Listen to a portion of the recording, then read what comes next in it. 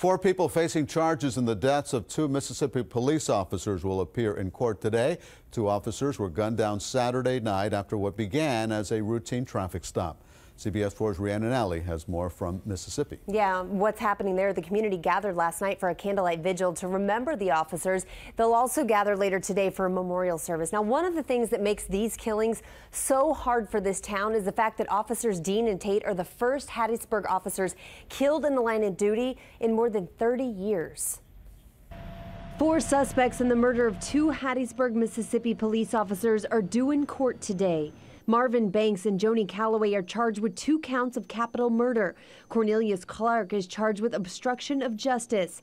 And Curtis Banks, Marvin's younger brother, is facing accessory charges. I don't think a lot of the test, sir. God knows I ain't did nothing. The shooting began after a traffic stop Saturday night.